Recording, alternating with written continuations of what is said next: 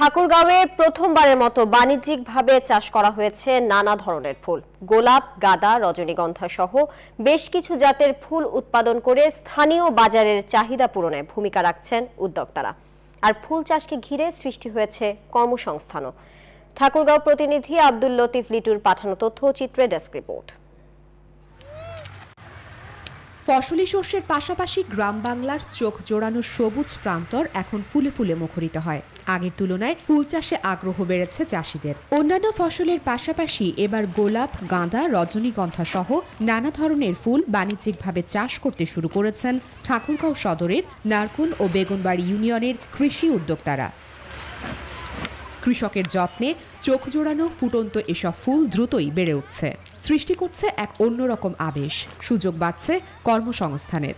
ফুল এখান থেকে নীলফামারী, রংপুর বগুড়া পর্যন্ত যায়। সব জায়গায় এখান থেকেই পাঠায় দেয়। সব ইয়ে করে।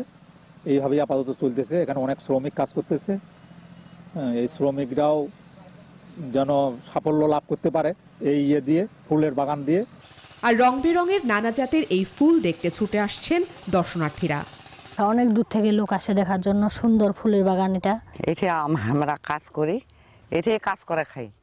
তা সংসার এইভাবেই চালাই। কালকে দিনে একটু ফুল টুল ভালো বেচা কিনা হবে একটু ফুলের দাম বেশি। দূর দূরান্ত থেকে আসে দেখতে আসে ওখান থেকে কিছু প্রোডাক্ট হয় আর বাকিটা আমরা বাইরে থেকেও কালেকশন করতে হয়। উৎপাদন বাড়াতে কৃষি বিভাগ চাষিদের সব রকম পরামর্শ প্রদান করছেন বলে জানান কৃষি বিভাগের শীর্ষ কর্মকর্তা। দিন দিন কৃষকদের মাঝে এই ফুল চাষের প্রবণতা বৃদ্ধি পাচ্ছে এবং আমাদের কৃষি সম্প্রসারণ অধিদপ্তর থেকে আমরা এমনি মাঠ ফসল, শাকসবজি বা ফলের যেমন আমরা পরামর্শ দিয়ে থাকি, সেক্ষেত্রে এই ফুল চাষেও তাদেরকে প্রয়োজনীয় পরামর্শ আমাদের কৃষি সম্প্রসারণ অধিদপ্তর থেকে দেওয়া হয়। বর্তমান বাজারে ফুলের ভালো চাহিদা রয়েছে, তাই লাভের আশা করছেন মাঠ পর্যায়ের চাষিরা। একই সঙ্গে সময় বাঁচানো এবং নির্মল আনন্দের জন্য এ অঞ্চলে বাড়ছে বর্ষজীবী ও স্থায়ী ফুলের চাষ। Desk report, news twenty